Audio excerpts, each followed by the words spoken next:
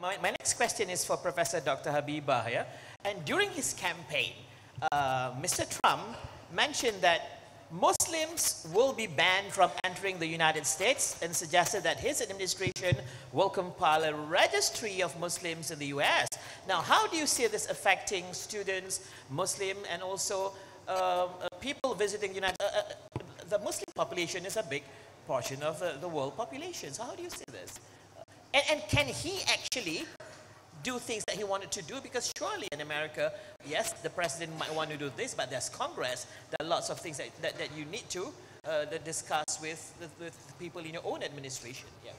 Thank you, Mr. Suhaimi. Um, just like Professor Parfit, I would like to uh, preface my statement by saying thank you to UKM and thank you to Prof. Imran for inviting me to be at the uh, Bicara Persada and it is such an honor for me and also for my university. But I also have to uh, also have to uh, preface that with, by saying that whatever views I say here is not the views of UITM. Again, I would like to qualify my next few remarks by this statement, which is uh, that I don't know of anyone in this room who knows Trump personally. Maybe, maybe, maybe there are, I'm not sure, I haven't done. But I don't know Trump, Mr. Trump personally. What I know from him is from the media.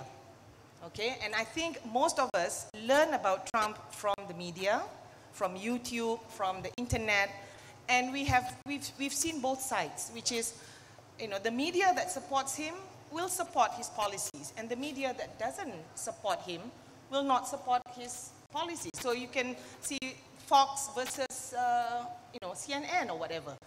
So um, that's how I would like to uh, begin my statement. But I have been a student in the US. I'm a Muslim. My daughter is there. Our daughter is there. My husband is there in the audience. And uh, if I were a student there, a Muslim student, I would be very, very afraid. Because this is a powerful man. This is the most powerful man in the world. I mean, or so he claims to be. Okay, like you say, the Senate, the Congress will have powers as well. So I would be very, very uh, afraid about what he might do and what he can do to do, uh, you know, to uh, initiate the Muslim registry, to talk about uh, deportation of Muslims, to ban Muslim immigrants from coming or tourists. He even said that.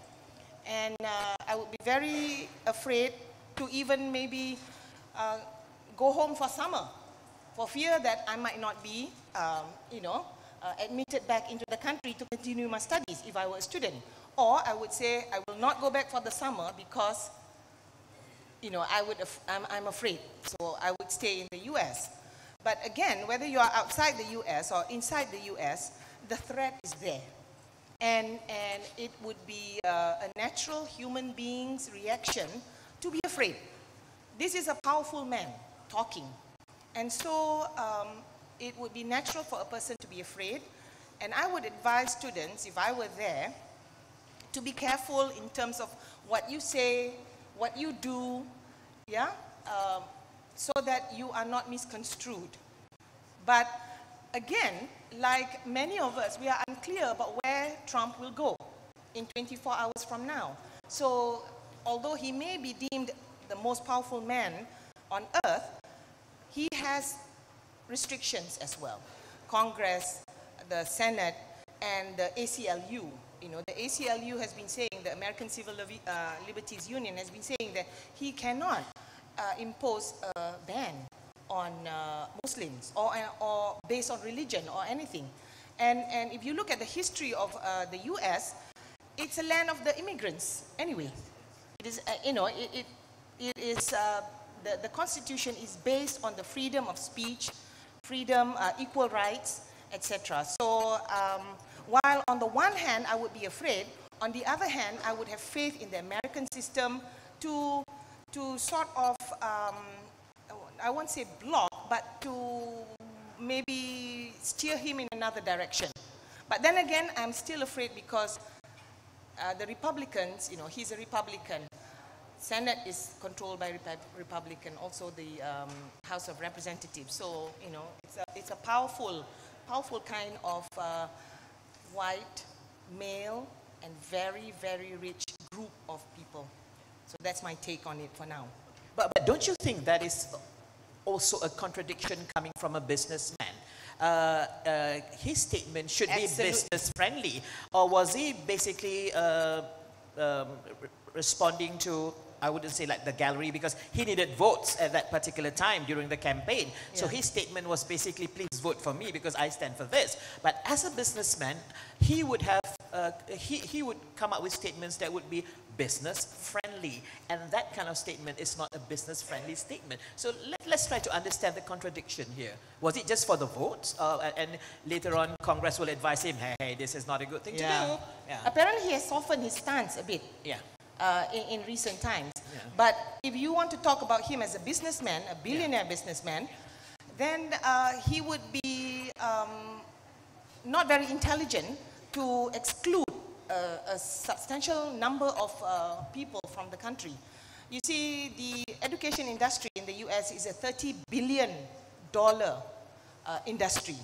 And if he's, a, if he's a businessman and if he says he wants to divest himself of his business, but then he has children, okay, who will continue with his businesses, it would not be uh, a good move for him to exclude a major portion of the, of the money that's coming into the country.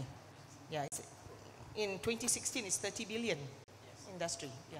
Professor Parfit, you wanted to add something to that?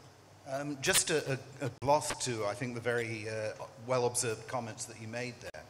But I think one way, in perhaps we could, one way in which some people um, uh, sort of um, reconcile this contradiction about him being a businessman and making such strange comments, it would be to see that actually these are the kinds of comments of a businessman who says what he needs to say to get the deal done and then when the signatures are on paper, then you start the serious negotiations.